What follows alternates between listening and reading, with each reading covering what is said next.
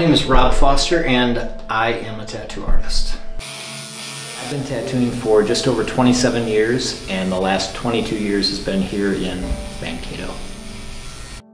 I spend most of my time um, working on drawing tattoos. Uh, pretty much 100% of what I tattoo on people I draw. I motivate myself by timing myself drawing. It's ridiculous, but everything I do, I time it with one side of a record. So I will clean the kitchen for one side of a record, and then I will draw studio stuff for one side of a record, and then I will draw tattoo stuff for one side of a record, and that way I don't get too sidetracked.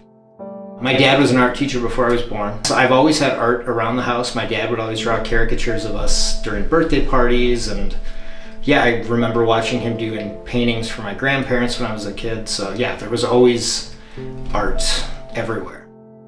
Never thought of doing anything as far as art for a living until I got my first tattoo when I was 18. And then that's all I wanted to do. January 1st, 1997 was my first day just doing my apprenticeship. Lots of drawing, lots of cleaning toilets. And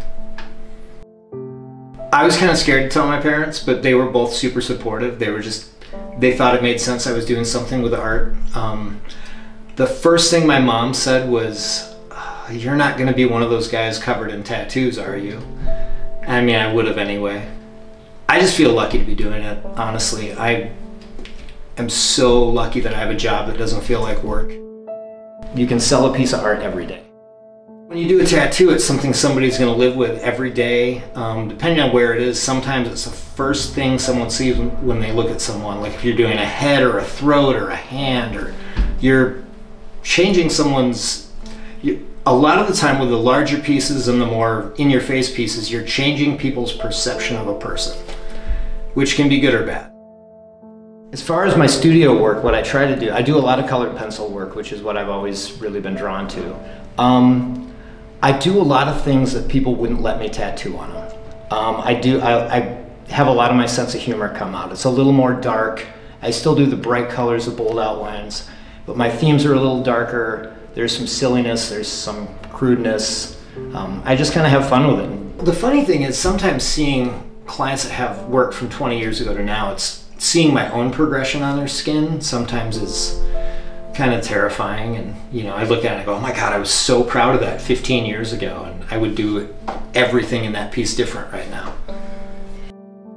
Coming up in the creative field, the best advice I ever got um, when I was first apprenticing was draw every day, whether you want to or not, um, even if it's one or two lines, because the next day you'll do one or two lines and then it's a shape and just don't stop.